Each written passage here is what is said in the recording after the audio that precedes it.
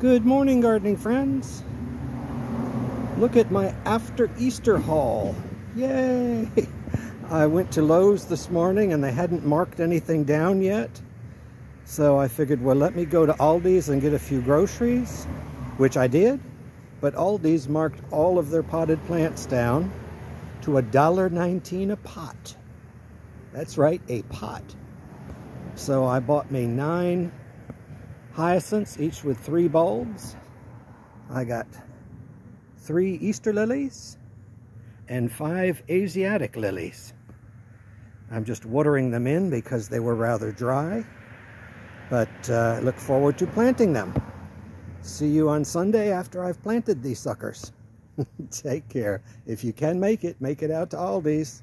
$1.19 for a potted plant. Have a good day. Bye-bye.